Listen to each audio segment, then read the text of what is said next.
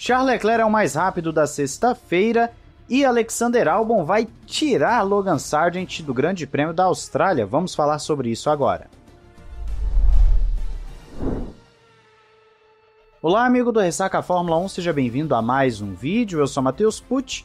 Este vídeo está saindo bem mais tarde que o normal, porque eu tive um belo de um problema com o iPhone, na verdade ainda estou tendo um belo de um problema com o iPhone, que não passou o vídeo que eu gravei, eu ia aparecer no vídeo, né, e tal, um pouquinho diferente, e ele não passou de forma alguma para o PC, eu não consegui por iCloud, por iTunes, por Drive, por cabo, por nada que você imaginar. Era um arquivo um pouquinho grande sim, um vídeo de 6 GB, mas ainda assim não tem justificativa, já que eu faço isso direto com o Android, e eu estou lembrando do porquê ter falado que eu nunca mais teria um iPhone quando eu tive o 4, há muitos anos, e agora eu tô de novo com o iPhone e tô passando raiva.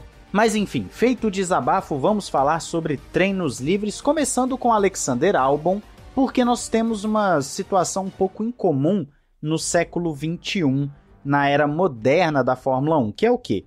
O Alexander Albon enfiou o carro dele no muro, bateu, a Williams não tem peças de reposição, principalmente o chassi, e com isso então vão correr com apenas um piloto o durante o final de semana, classificação e corrida.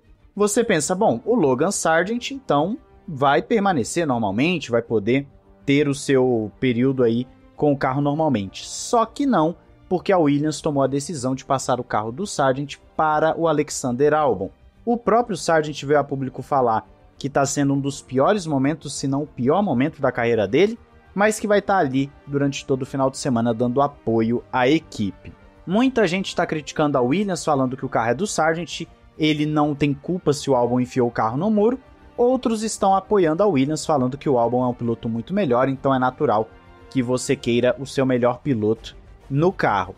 De qualquer forma, não é comum vermos esse tipo de coisa na era moderna da Fórmula 1. Isso acontecia há muitos anos, quando o piloto já teve até inclusive vitória, em que no meio da corrida o cara trocou de carro com o companheiro para poder vencer mas isso década de 50, 60. O que nós tínhamos ali década de 90, início dos anos 2000 era carro reserva. Você batia, você voltava pro box, pegava o seu carro reserva, você não trocava com o companheiro de equipe, né? Então eu nem sei quando foi a última vez que isso aconteceu na Fórmula 1. Se você souber, se você tiver uma boa memória aí, fala aí nos comentários. E eu quero saber a sua opinião. Você achou justo ou não o álbum pegar o carro do Sargent? Fala aí. Bom, agora vamos falar de performance pura porque é o seguinte, o que nós temos é uma Ferrari que ficou em primeiro, não somente na tabela de tempos, mas também nas simulações de corrida. Só que tem um asterisco que a gente deve colocar aqui. O Helmut Marko falou que a Red Bull andou com o modo de motor mais baixo, enquanto a Ferrari teria andado já em potência máxima. Isso explica a Red Bull seis décimos para trás da Ferrari em ritmo de corrida. Alguns até colocam sete décimos atrás em ritmo de corrida. A unanimidade é que é o quê? O que nós vimos no treino livre 2, que é o treino no horário da corrida, Ferrari estaria em primeiro, McLaren em segundo, Aston Martin em terceiro, Red Bull em quarto, Mercedes em quinto. O resto fica mais ali embolado, dependendo de quem você está pegando a análise do long run.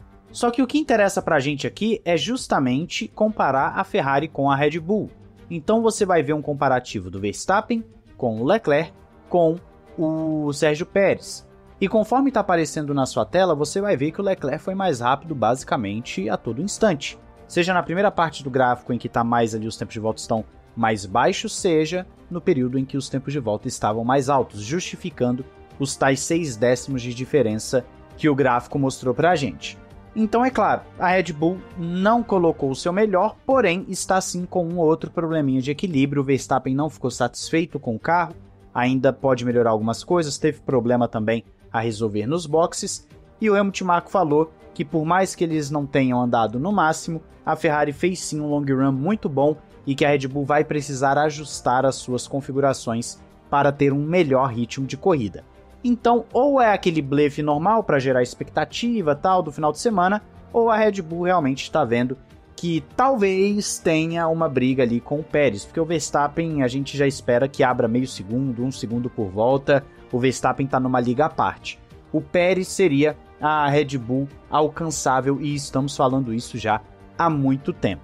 Então, em termos de performance pura, a Ferrari na verdade vai ser a segunda força, provavelmente. Aí o que está me surpreendendo é McLaren e Aston Martin à frente da Mercedes, apesar que a Mercedes está perdida, né? A Mercedes, inclusive, está voltando para o spec do, da pré-temporada, porque o carro era mais equilibrado, para ver se eles encontram respostas, se os dados batem com o simulador. Tem algumas informações sobre o simulador da Mercedes que eu vou trazer provavelmente em vídeo mais tarde. Então, nós estamos vendo que a Mercedes está andando para trás e é um regulamento que, como já disse para vocês, ela está perdida e pelo visto não vai conseguir se encontrar a tempo. Então, basicamente, trocando em miúdos, o que, que aconteceu no TL em termos de ritmo de corrida para a gente ficar de olho? Red Bull ainda deve ser a mais forte, por mais que não tenha ficado com o melhor ritmo nos treinos. Ferrari deve vir em segundo, quem sabe brigando diretamente com o Sérgio Pérez. E eu acho que dá para ser algo parecido com o que foi o Grande Prêmio do Bahrein, em que o Sainz ficou andando na mesma balada do Pérez por boa parte da prova, então deve ser por aí. Aston Martin, McLaren, Mercedes talvez fiquem trocando ali tinta, uma hora uma melhor, na outra outra um pouquinho melhor. E dali para trás é aquela coisa que a gente nunca sabe. A Haas, por exemplo, não teve o melhor long run em termos de dados que nós temos aqui, só que a equipe está muito confiante de que pode ter uma corrida muito forte e quem sabe beliscar um pontinho se acontecer alguma coisa fora da curva com a galera ali da frente. Sauber, a, a Visa Cash App, que até aparentou ter dado uma melhoradinha e tal, são incógnitas, assim como Williams também é incógnita, ainda mais agora com um carro só. Você tem incógnitas aí nessa brincadeira que a gente vai ter que esperar tanto o quali quanto a corrida para ver. Mas é isso, não deve mudar muito o cenário daquilo que nós vimos recentemente nos outros dois grandes prêmios. E claro, a Alpine decepcionando, que também parece que vai acontecer de novo a Alpine que está andando para trás bizonhamente. Vamos ver como vai ser o quali dele. Se for muito ruim, eu vou trazer o comparativo com o ano passado para a gente ver o tanto que eles estão andando para trás, assim como trouxe no Bahrein, em que vocês viram que o negócio tá brabo lá.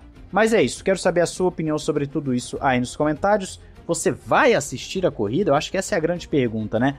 Além da temporada tá bem previsível, tem também o fato de ser de madrugada, lembrando que estarei com os membros acompanhando as sessões então me diz aí se você vai assistir essa corrida e qual a sua expectativa para o Grande Prêmio da Austrália 2024. Geralmente, quando muitas pessoas deixam de assistir uma corrida, é quando ela fica boa, né? O pessoal fica puto depois porque a corrida foi boa e não assistiu.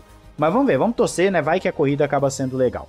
Não esqueça de entrar nos nossos patrocinadores aí embaixo, no pessoal que eles são os nossos parceiros, a Paddock BR com as melhores camisetas da Fórmula 1, cupom RessaqueF1 para desconto e frete grátis, tem também a Instant Gaming com os melhores preços para vocês e tem também links da Amazon. Um grande abraço, valeu e falou!